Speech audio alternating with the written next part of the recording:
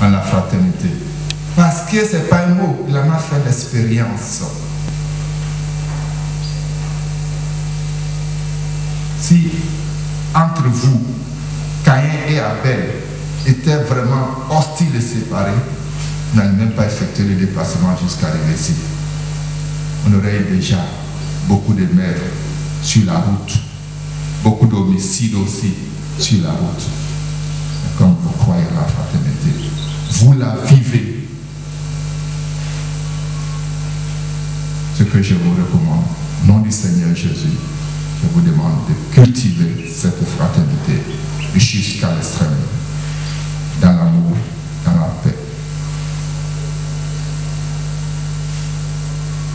Et que ce forum vous aide à écouter la voix du Seigneur qui vous parle, non pas à travers tant de paroles, mais à travers l'exemple de Jésus-Christ, qui est né d'une femme, qui a vécu, qui a été jeune, comme vous. Je vous remercie.